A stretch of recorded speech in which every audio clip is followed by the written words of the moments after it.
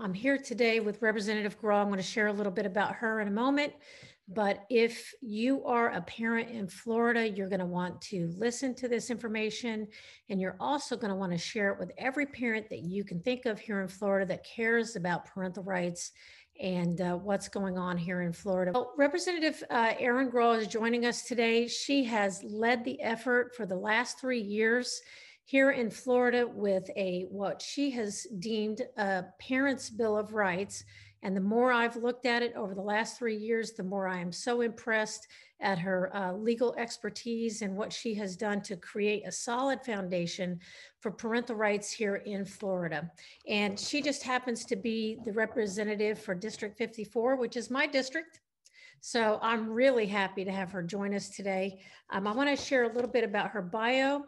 Um, she is a native of Vero Beach, Florida. Following law school, she returned to Vero Beach and worked with her father in his law practice.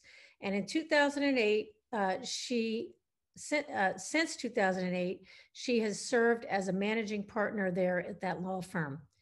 Representative Grall was elected to the Florida House of Representatives in 2016. She was subsequently reelected in 2018 and once again in 2020 and she's an avid legislative strategist. And she has been at the forefront of leading legislation in Florida. And especially right now, in the last three years, she's been leading this bill, the Parents' Bill of Rights, which we're going to be talking about today. So, and we're so thankful to have you, uh, Representative Grall. Thank you for joining us. Well, thank you for having me, Patty. And I appreciate all that you do for parents and families throughout our community and throughout Florida. Yeah, so, well, thank you very much. And I appreciate your effort here in the uh, Parents' Bill of Rights. I know you introduced it three years ago. And can you tell us, like, from the progression three years ago when you first introduced it, kind of what it's what it's gone through up until this point where you're reintroducing it this year? Well, I think it's really been about educating the members of the House, in particular, where I serve, of um, you know the the role that parents should be playing in our communities and society and how we how we handle that as an institution as a government. And that has been the biggest challenge is to make sure that we're showing people how um, the government does sometimes inappropriately intervene in that relationship and parents need recourse against the government to ensure that they have the ability the ability to really direct the upbringing of their child, which is a fundamental right. So, so that's where you've been working, and I believe in the first year it actually passed through uh, several committees at that point until it died. And then last year, I mean, you had a lot of success on the House side with it as well, didn't you? We did last year. It made it through all of the House committees that it was referred to, and it passed the floor of the House. It also, I believe, progressed through two of the committees in the Senate, which is the most progress that we've seen in the Senate on this issue in the last few years. So this year, um, even though you made it through the entire three committees last year on the House side, and then it passed on the House side, it made it through two committees before it ultimately died. So where does that leave you for this year? Do you have, I guess you have to start over again, right? Each legislative session, we have to start over again if a bill was not passed and signed into law by the governor. So we will start um, in the House. We've been referred to three committees in the House. Um, hopefully, we'll be starting um, to be heard in the next couple weeks. And Great. from there, we will, you know, hopefully move to the floor quickly this year to it, the quicker we get to the floor of the House, and if we pass the bill off the floor of the House, I think it leaves the Senate with more time to see the trajectory that the, the policy has taken over here. Okay, so you've you've actually introduced the bill then, and it's the bill been, has been yes, okay. the bill has been filed. Okay, and the number of that is HB 241, I believe. That's correct. Okay. And then on the on the Senate side, it's also been introduced by Senator Ray Rodrigues, and that Senate bill number is 582. And if anyone wanted to follow, you know, those bills, especially in particular yours, they could go to uh, myfloridahouse.gov and look up HB 241. Uh, can you tell us a little bit about why you feel like the Parents' Bill of Rights is so important um, the purpose of it, why why do we need a parent's bill of rights, and what would this accomplish, and you know why why is it so necessary that we actually have a law that affirms our parental rights? Well, much of parental rights has been defined by case law over the course of our country's history. And while that is important and it's um, a component of all of our country's laws, I think that when a legislature has the ability to codify those rulings by saying that this is such an important and fundamental right, we would like to put it in our statutes, we should do that. And so the bill really, you know, the purpose is to articulate to our agencies, the government agencies and institutions, the important role of family in establishing and impacting the policies that impact parents and families. And because too often we see agencies um, just kind of move on their own regard to you know, diminish the role of family. And we want to make sure that family, the role of family is never diminished and that we are um, we are putting into one place this one chapter of law and a place that all of these agencies and institutions can reference when they are considering any policy that may affect the family as opposed to being scattered throughout you know six or seven volumes of statutes in florida it creates a better path, I think, for those agencies to consider the way in which they interact with the family. So, so in other words, there are a lot of different parental rights currently here in Florida, those statutes, but they're in so many different scattered places that, you know, if a parent has an issue or something like that and they're trying to find that law, it's kind of very difficult, especially for people who are not um, educated in the law and those types of things. But this would actually put everything under one statute? And then It also would- government agencies guidelines as to what they have to, uh, you know, abide by? That's correct. And I, I think that more than the other statutes that address parental rights, this chapter of law sets forth a parent's rights which shall not be infringed upon. Wow. It enumerates certain rights, does not limit those rights. And those types of those types of explanations are not included in other areas of law. This chapter also speaks to private industry in some regard when it comes to healthcare, because there's some gray area around the consent of a parent for a minor's medical treatment. It's not explicit within the healthcare statutes necessarily. So this bill does create a chapter in a section which explicitly says that for a minor to obtain health care, the parent must consent. It's not the government's job to raise the children, it's the parents' job to raise the children. And many times, most of the time, and I would say pretty much all of the time, parents uh, know what's in the best interest of their own children, especially since they know them best, right? Well, that's that's the the idea is that in general, children benefit from the advice and guidance of their parents. And this bill does not interfere with some other areas of law in which children do have the ability to receive some medical services without right. their parents' involvement. Sure. But those are very specific and um, and they have been created for a reason. There are certain circumstances under which children can access mental health services without a parent knowing. That concerns me as a parent, um, but there there are defined guidelines for when that can happen. It sure. should not it should not happen as a rule of law as and it shouldn't happen as um, we shouldn't default to to that type of access to treatment without parents involvement. We should default to the family being engaged in that decision together. Absolutely. And i mean it used to be a given all through our society that um, parents are the ones who you know tend to their children and make those decisions for them their children. And now we actually have to have a law that makes that statement. And that's unfortunate, but is the real, very real fact of um, where we're at right now in our society. And we have numerous states right now. We do have a national organization. It's called parentalrights.org.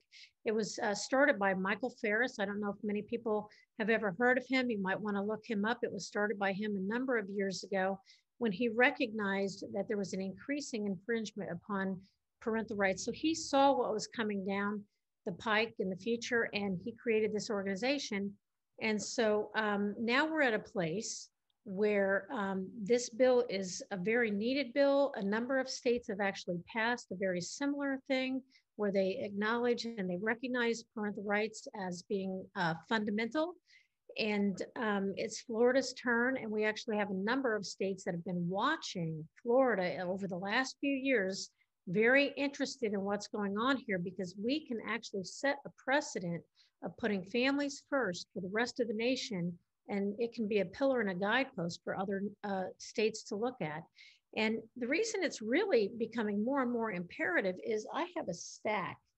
I have two folders right here um, that I've been uh, collecting articles um, and an Excel spreadsheet over the last few months, especially since the spring. Uh, there are multiple articles that have been uh, posted throughout the state of Florida of an increase in parental rights violations um, and also in parental parental rights lawsuits where parents are actually suing government agencies because the government agency has infringed upon their parental rights. So why would you think that um, that this is such a necessary thing? Why would you think number one that there's such an uptick in in, in all these cases, and why is it so imperative that we we pass this bill in this legislative session? Well, I think that uh, by nature of the size of government, so many times government is reacting to the to the bad situations, to to child neglect and abuse, and when that happens, there's um, a natural inclination to grow government's involvement in the family, and um, it's important to note that this bill does not interfere with the child welfare statutes. And when there is abuse, when there is abuse and neglect, there is a role for government to play. However, there's certain thresholds and standards that they must meet in order to interfere and become involved in the family relationship at that time. And so I think that we are certainly seeing um, just government overreach and it's it's been it's been slight as over the years, but when you look at the cumulative nature of that, it means that the government has firmly inserted itself into the family and in, in between maybe the parent and the child and not and to the detriment of that relationship. You know, the government does not know better than a parent and and never will know better than a parent in terms of what is best for a child. And parents have a vested interest in their in their children's welfare and upbringing. And so i think that because there's pressures from around the world for us to um, give greater autonomy to children uh, in all of their decision making it's important to solidify the rights of the family in florida so that we um, have made it clear to not only the government but private institutions that family comes first and to interfere with that will have ramifications. So that's why I think the urgency is important because of that pressure that we're seeing worldwide. And so, um, in in working to pass this legislation this year, um, we have really seen throughout the uh, United States and in different places, parents are actually starting to get engaged in the late legislative process and, and in their city governments and their county governments. Um, what what would you suggest that um, citizens that uh, citizen parents do to get involved in helping support this legislative effort to get um, HB uh, 4, uh, 241 and SB 582 passed in this legislative session? What could parents do as we, the people, get involved? I think parents should reach out to their state house member and their state senator and um, relay their their support for the bill.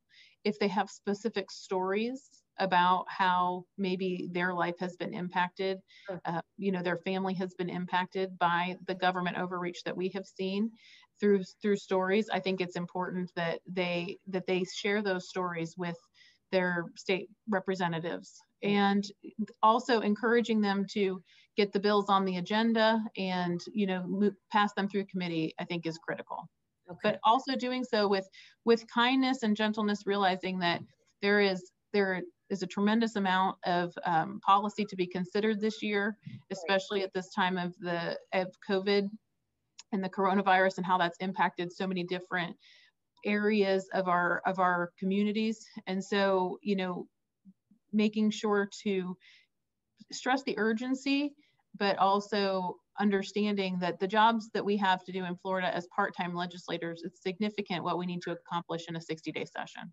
Right. And, it, and it's important, like you said, with kindness and respect, because we're all in this together. There's a tremendous pressure on all of you to try to get all of this done and uh, to take all these things into consideration. So, well, I appreciate you sharing that.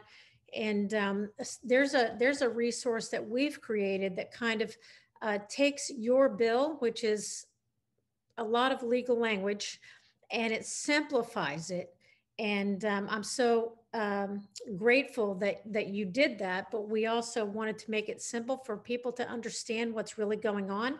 And this is an ebook that we created. This is the pamphlet actually but um, what it does is it's a, a, parent's guide to parental rights in Florida, and it takes everything that uh, Representative Grall has uh, created in her legislative uh, bill here, and it breaks it down and simplifies it, and it tells you what your parental rights are. It tells you why we need the Parents' Bill of Rights, and then it makes it very simple. And you can download this ebook right on our website, parentalrightsfl.org, and take it right. And, and we've also created a legislative packet that makes it easy for everyone throughout the state. They can download these two resources and they can um, make it their own and they can walk it right into their representative and their senator's office and encourage them to take a look at it. And um, so uh, we're just encouraging everyone, if you're interested, and if you want to find out more about your parental rights, you can go to our website, parentalrightsfl.org, and download this free ebook. And if you want these ebooks, you can contact me and I will mail you them because they're amazing. So, um, Representative Grall, is there before we end, is there anything else you'd like to share um, with uh, parents here in Florida in regard to this issue? I just um, would like to say thank you to parents. Thank you to those parents who have supported this legislation, who are working to raise strong families in Florida, who are working to um, raise children who will be involved with their government and participate. And I think that it's the best example that we can give our children is through our actions. And you all who have been involved in this movement in particular are raising up strong children to be engaged um, in their pro- in this government process and make right. the change that they want to see in the world. Well, thank you so much, uh, Representative Grall. We appreciate you. We thank you for all your hard work. Um, we do consider you uh, a parental rights champion. There's no doubt about it. And um, we thank you for leading the effort for this good bill. And we are going to be watching uh, you and the uh, forward motion of this bill. We want to support it 100%. And uh, also Senator Ray Rodrigues, we want to thank thank him for leading the effort on the Senate side. And um, so thank you so much for joining us. Um, and to everyone out there, I just want to say thank you for joining us. Please get involved in this good effort. If you're a parent here in Florida, please um, go to our website, parentalrightsfl.org. You can follow our calls to action on our Facebook page, Parental Rights Florida. Um, we truly believe that the family is the heart of every community here in Florida. It's the heart of the state, it's the heart of this nation. And um, we just want to thank you all for joining us today. And please get involved and support this good bill. Thank you and have a great day.